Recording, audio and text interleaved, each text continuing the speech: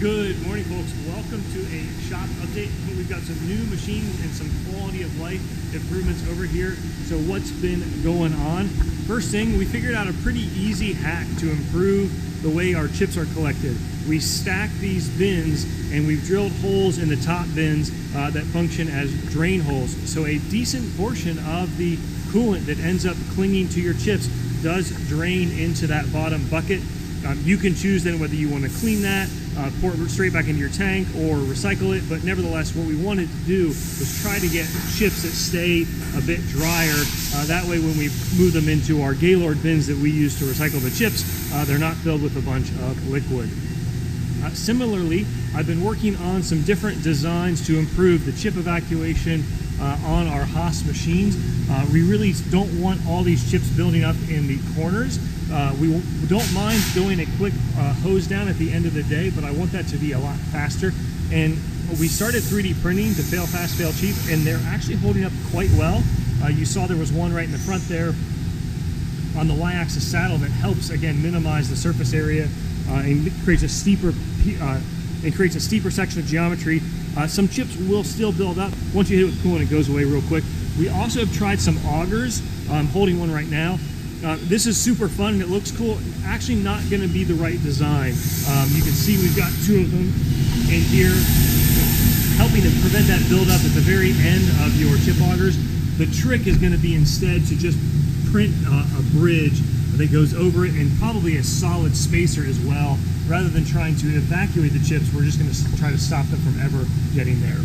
Once we come up with a variety of these uh, shapes and sizes, we'll put them over on the NYC CNC website. Uh, but I really wanted to have most of these able to be made with either super basic sheet metal tools or uh, to be able to 3D print them on an FDM printer because that way anybody can do it for relatively low cost. Uh, we also took some of the 3D printed ones and spray painted them with effectively rhino lining, like the truck bed liner, which really seems to help their chemical resistance and abrasion resistance. I'm standing in an empty space, and this is really exciting. Uh, we bought an Okuma Genos M660. So the M560 is a super popular machine. It's kind of their 40 by 20. We wanted to step up, the size up. So the M660 is approximately 24 by 56 or 58 inch travel. Uh, and really what we wanted was effectively a bridge mill. Um, we love our VF6s and the Genos uh, is going to be a similar work uh, footprint to those, but what we wanted was rather than a C-frame machine where you've got a base here, a column here, a head over here coming out of the spindle, what we wanted was a double column bridge mill design. A totally different kinematic design, totally different in terms of the thermal ability, and really going to help us up our game on our fixture plates. So uh, we'll do a whole video on that. It is in Charlotte right now. They're adding the uh, chip conveyor and accessories to it. It should be here next week though. Uh, and the other funny thing is it's our first time, really our first time buying a machine other than a Haas. We had a Robo Drill, we had a Datron, but this is the first time soup to nuts. Uh, very different experience. We'll share more about that in, in, the lessons that we learned, but, but to say the least, we're super excited to get that machine here. I've heard great things about the Okuma and the Genos, and we're actually really excited as well for their OSP control. They have an open architecture API. We think there's maybe some pretty cool ways that we can integrate uh, Lex, our home-built ERP system, into the Genos control. Uh, and speaking of Lex, um, this is a approximately $20, $25 Pebblebee Finder 2.0 Bluetooth finder. So it's really no different than an Apple AirTag or any of the other tiles or Bluetooth finders. The thought is these are relatively inexpensive, they're turnkey, and some of them may have APIs or they integrate with like Alexa or uh, Siri type thing. Can we use those to help us organize and find stuff? So, for example, a lot of our larger raw material, uh, we kind of know where we put it, and we use barcodes on a piece of wood to be able to see what's what. And we don't really have a problem with that. But some of the smaller stuff, or some of the stuff that's up on higher racks, uh, or stuff that we don't use as often, we can spend some time looking for it. And when I think about quality of life uh, things, the way to improve what we do to waste less time and also just to use technology to our advantage, we think we can integrate these with Lex. So when you're looking for uh, Nomad material, you can potentially either ask Alexa, uh, which would be kind of cool, but really uh, all we need to do is have Lex, which is the brains of our operations now, hit find material.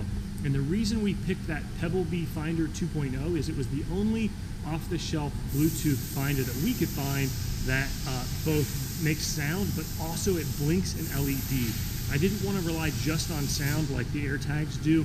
In a machine shop where there's some background noise or you've got a lot of uh, those Bluetooth finders potentially throughout the shop, sound alone is not a good solution. The light, though, is key.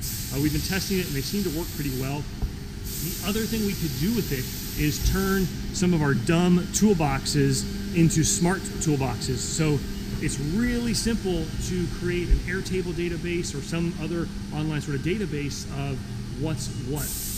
So let's say you're storing metrology tools or your files and rasps or de deburring tools. Well, as you start to grow with employees and people, sometimes it's really hard to train folks and say, hey, this is where that is. Um, and I'm not sure we would add pebble Pebblebees to every single toolbox drawer, but one of the things you could do is start linking it to common items uh, or toolboxes, and that way when someone's looking for something, they could just go up to a computer and say, oh, there's where the um, files are, hit the find button, and the toolbox drawer will blink. This is 25 bucks, which is not free, but it's way cheaper than the thousands or tens of thousands of dollars uh, that you would pay for a proper uh, digitized toolbox that has blinking drawers and intelligence locking and integration with software and so forth. It's just clean and it's simple to tweak. So we'll keep you posted on how that goes.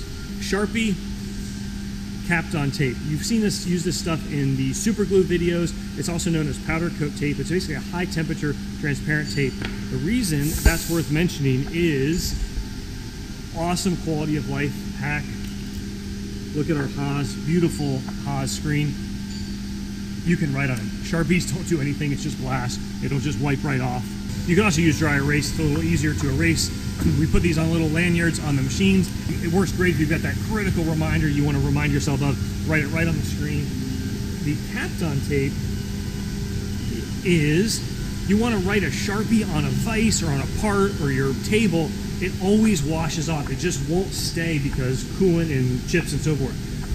Write your note with a Sharpie and then cover it with Kapton tape. Sorry, it's really dark right here. The Kapton tape is a really cheap and quick way to protect your Sharpie. Won't wash away. The coolant doesn't really get underneath this, and then when you're done, you can rip this off and erase it as needed. We're right at the point of needing a second uh, or bigger air compressor, and we love this Atlas Copco. It's a seven and a half horsepower. It's honestly been bulletproof for about six years. Has 3,800 hours on it. Um, I have no complaints, but uh, we have a friend that has a similar compressor. His just kind of blew up on him, and if we don't have an air compressor, we're down. The value is going to be having a second redundant compressor, so I think we're going to buy uh, one called a FIAC, F-I-A-C. I'm actually probably going to place the order today for it. Very similar size, it has a digital control, so it'll allow us to adjust the start-stop pressure, and that's going to let us set it up to do a lead lag. So that compressor comes on at 100, it turns off at 140. Our new one will turn on at 105 and off at 140. So normally the new one will do most of the work, but if we use a bunch of air, the second one will kick in, and then every so often we'll switch uh, the PSI ranges so that the old one also spends time being kind of the primary. Uh, the other thing I really like about this FIAC is that it is uh, always running, whereas this one, when it stops, it has to do an unload because it can't start under load. And I think that's part of something that can wear things out over time, uh, but also just having the redundancy is going to be great. The other thing I add if you're watching this video and you're thinking about starting a shop is uh, run bigger airlines. We ran the, I believe, one inch uh, flex pipe or rapid pipe throughout the shop, and it would not have been that much more expensive to have a larger diameter. And we have seen some issues where when you are using a bunch of air, we just don't have enough flow or volume uh, to get it where we need to. So the relatively small incremental cost of a larger diameter pipe would have been worth it. Plus, your pipe effectively works uh, as a battery. It stores air and uh, I wish I had done that. If we had a minor flood, and I absolutely insist if you're running a shop with any sort of a coolant tank or water system is buy these inexpensive $20 or so flood sensors. They just take a 9 volt battery. Uh, they're, they're dumb. They have no intelligence to them other than if this gets shorted out with liquid, it will beep quite loudly. Uh, we have them near most of our coolant tanks, and we actually even put one in near the bathroom. Again, if we're here, uh, it's going to immediately beep and it's going to tell us something's going on. It has saved our butt already once. We also found um, something kind of cool. It's this rubber chip brush. These work great for washing out machines where you don't want the chips to cling uh, like they will to a normal foxtail or bristle style brush. Relatively inexpensive, um, and we just mount them on the side of the cart with the little handle grabs. And finally, we're using these red shipping carts to move stuff over to shipping carriers. And what we did is I want these to kind of look nice. I want them to go into the same position every time. I honestly didn't think this would last. We just 3D printed some wheel chocks. I'll throw the model up, uh, link in the description, uh, and just use some 3M uh, UH Ultra High Bond, UHB, does that sound right? Uh, tape to stick them to our epoxy floor. And what this means is you can pretty quickly roll that cart right back into its spot. And last but not least, take a look at that. Johnny Five is almost alive. He's been coming along really, really well. We've had an intern, Samuel. We found him through our local high school VEX robotics team. He has really taken over the lead on this project. And we had so many parts that were done but needed assembled. We needed some more parts made. We've machined some, fabricated some, printed some. You guys have been awesome. The number of crowdsourced parts on this thing is absolutely phenomenal. Uh, we've got more parts here, uh, but really the main section left will be his head and some of the intricacies of that. Our goal is we want to get that part of it done, and then we're going to come back through and start looking at which parts we're going to then uh, either add or improve the electromechanical element of it. Uh, the track drives already work. Uh, we'll want to get the shoulder joints working, the uh, linear motors that actuate his torso, and so forth. But really, really cool. And you start to get a sense of just how big J5 really is. So, with that, folks, hope you enjoyed. Hope you learned something. Take care. See you soon.